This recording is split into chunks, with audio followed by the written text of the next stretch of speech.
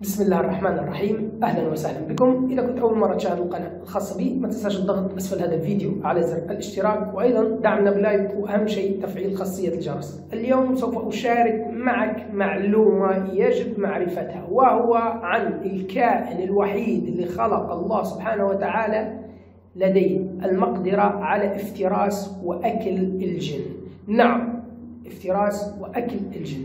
ما هو هذا الكائن اللي هو الذئب الذئب هو الكائن أو الحيوان الوحيد اللي الله سبحانه وتعالى خص بهذا الأمر. إذا بتسأل أي شخص طبعا أنت في البادية بتجد آلاف من القصص بتحكى عن اللي هي مقدرة الذئب على افتراس الجني.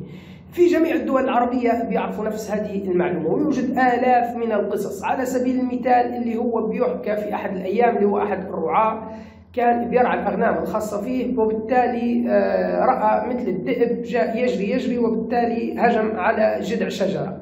شال منه اللي هو مثل القطعة البيضاء وفر بها فخرجت امرأة من الشجرة وتخبر الراعي أن هذا الذئب قد تمكن من أخذ ابني يعني طفلي فأرجع لي فأنا جنية وكذا هذه القصة الأولى. القصة الثانية حتى في اللي هو الشيخ عبد الله الجبرين أتكلم على طبعا قصة حدثت معه أن كانت هناك امرأة مصابة بمس ودائما وأبدا الجني هذا بيأتي بيأتي يعني بيجلس في حجر هذه المرأة. فمرة من المرات كانت بترعى اللي هي الأغنام. عندما ترعى الأغنام فمر الذئب. عندما مر الذئب نط هذاك الجني وذهب طبعا هرب من المكان هذا لأنه معروف أن الجني بيفر سفر سنة من أي شيء أو أي مكان يكون فيه ذئب أو يكون فيه أثر من أثر الذئب. فانطلق اللي هو الذئب وراء الجني وبعد شوية اللي هي تركت الذئب واقف في مكان معين وبعد ذلك ذهب. الذئب عندما ذهبت وجدت اللي هو مثل بعض قطرات الدماء. طبعا لو أنت بتسألني إن الجني هو مصنوع من نار أو مخلوق من نار ما ما فيش طبعا دماء أو شيء فأنا أخبرك إن الجن يستطيع أن هو يتشكل بشكل أي شيء سواء كان بيتشكل في مثلا تعبان ولذلك حتى في الدين لما تجد أنت تعبان أو شيء في المنزل يجب عليك إنك أنت تحاج ثلاث مرات قبل إنك أنت تعمد إلى قتله لأنه ممكن بيكون جني وبالتالي قبيلته ممكن بتظهر منك. أيضا بيتشكل في هيئة إنسان بيتشكل على أي هيئة يريدها المهم بعد ذلك اللي هو ذكر إن المرأة هذه بعد الحادثة هذه مع الذئب شفيت نهائيا من مسألة اللي هو المس اللي كان المس العشق. الآن سوف أخبرك عن قصة لماذا هو الذئب الوحيد اللي لديه هذه الخاصية. الخاصية هذه كما بنعرف نحن في البادية. أنا لا أتكلم الآن لا عن الشريعة ولا أتكلم مثلا عن علميا. أنا أتكلم بشكل يعني ما نعرفوه نحن في البادية اللي موجود لدينا. القصة بدأت اللي هي منذ أن إخوة سيدنا يوسف عندما اتهموا الذئب بقتل اللي هي سيدنا يوسف والذئب هذاك بريء. طبعا ان الشيطان وسوس لهم انهم يقوموا بهذا الأمر. فمن هنا أصبحت فيه مثل العداوة يعني ما بين الذئب وما بين الشياطين والجن اللي هي وسوست إلى إخوة يوسف لكي يعملوا هذا الأمر. والله لأنه كذبوا على هذا الذئب إن الله أعطاه هذه الميزة اللي هي ميزة رؤية الجن وأيضا ميزة إنه يستطيع إنه يفتك بهم. الميزة هذه وين تحديدا؟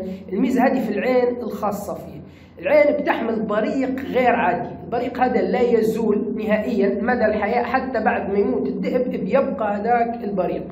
الشيء الثاني وهو أهم شيء اللي هو أن العين الذئب ما بترمشش. حتى هو نايم بينام بعين واحدة وما بترمشش. لأن كيف هو الذئب يستطيع أنه هو يستطيع افتراس الجني أنه هو الأرواح هذه سواء بصفة عامة سواء الجن أو الشياطين. تستطيع التحكم فيها بشيء واحد. إن هو هذه حتى في بعض الناس اللي هي بتحضر أو ممكن تفتح على اليوتيوب بعض الناس اللي بتتكلم عن تحضير الجن وغيره بيتكلموا عن نفس هذه الخاصية إن مثلا مثلا بيظهر أمامك الجني إذا أنت بقيت مثبت نظرك فيه فما يستطيعش إنه هو يغادر أو يرحل إلا إذا أنت نظرت إلى مكان هكذا أو هكذا. بعض الجن لما تحب إن هي ترحل بتحاول إن هي تعمل مثل الالاعيب فأنت بتنظر هكذا فبتفر. لكن إذا فقط عرفت هذا الأمر وظليت تثبت نظرك في المكان اللي خرج منه فما بيستطيعش إنه هو يفر. المهم فالذئب لديه اللي هي الخاصية أول نقطة القدرة الرهيبة في الإبصار اللي هي حده البصر. ثاني شيء إن العين الخاصة فيه ما بترمشش لأنه مجرد هي ما بترمش العين بيستطيع إنه هو يفر الجني فهو ما بيستطيعش إنه هو يفر من الذئب لأنه هو لديه القدره على رؤيته ولديه أيضا قدرة على تثبيته لأن العين الخاصة به ما بترمشش. هذه النقطة الأولى. النقطة الثانية أيضا الأرواح إذا ما حتى هذه معلومة خلاها لديك. إذا كان لديك مثلا شخص تشك في إنه هو مثلا جني ومت يعني موجود لديه متشكل على هيئة إنسان فبتعرفه من شيئين. أول شيء ما بيكونش لديه ظل ما بيكونش لديه انعكاس في المرآة أو في المياه. الشيء الثالث تستطيع أنك أنت تعرفه وتتحكم فيه وتبدأ بالشيء الثاني. إذا مر هو مثلا هكذا بتمشي أنت وهو حاول أنك تضع اللي هي أقدامك في مكان أقدامه. يعني بتمشي على الأثر الخاص مجرد أنك أنت تمشي خطوة اثنين بيتسمر وبيقف هذاك الجني. فالذئب هو أيضا بيعرف هذه الأمر في أمر غريزي إنه هو بيأتي بيمشي على نفس الخطى فبيتسمر هذاك الجني إذا كان متشكل مثلا في شكل أي شكل من الأشكال مثلا أي كائن آخر اللي هو سواء كان حيوان أو إنسان وبيستطيع إنه هو يفترسه. هذول الشيئين اللي تكلمت عليهم. أيضا هناك بالنسبة لي مسألة اللي هو الذئب هذه معروفة حتى منذ القدم يعني معروفة حتى في بعض اللي هي الديانات مش حتى يعني الإسلام وكذا. فبتذهب انت مثلا في الهند أو بتذهب في أفريقيا أو حتى في الوطن العربي بتجد إن دائما وابدا بيحرصوا الناس اللي هي تخاف من اذى الجني أو البيوت اللي بتكون أحيانا مسكونة. بيضعوا فيها دائما وابدا شيء أثر من أثر اللي هو الذئب. أنا شخصيا شخصيا أتكلم عن أنا شخصيا.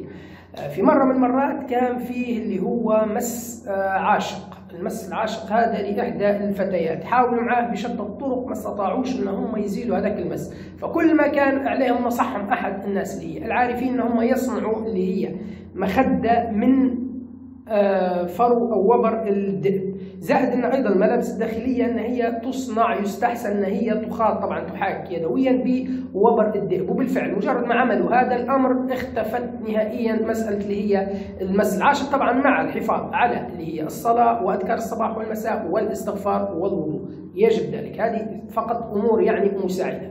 أيضا بالنسبة لي مساله الجاثوم هذا الجاثوم خصوصا الذي لديه حس إن الجاثوم فيه لي سببين. فيه لي سبب علمي وفيه لي السبب اللي هو يكون مس بيحدث ليلة اللي هو مس عشق بيحدث حتى رأي كبار السن. هذا أيضا من الأشياء المجربة والمفعل انك انت تصنع مخدة من اللي هو وبر الذئب فبيختفي نهائيا الجن العاشق أو الجاثوم هذا خصوصا الجاثوم اللي بتسمع له صوت بيصبح يكلمك أو بتسمع خطوات قبل أن يأتي الجاثوم. الجاثوم سوف أشرح لك أنا حلقة كاملة أتكلم فيها عن الأسباب العلمية وسوف أتكلم فيها أيضا عن الأسباب اللي هي الخاصة بالعين أو المس أو السحر اللي هي ممكن تعالجها بالطريقة هذه بالإضافة إلى طرق أخرى سوف أسرد لها طبعا حلقة معينة. المهم هذا هو الحيوان القوي جدا جدا جدا اللي هو الذئب والغريب واللي ما زال فيه أسرار كثيرة للغاية سوف أشرحها في حلقة أخرى. ان كان هذا هو الموضوع السلام عليكم ورحمة الله وبركاته.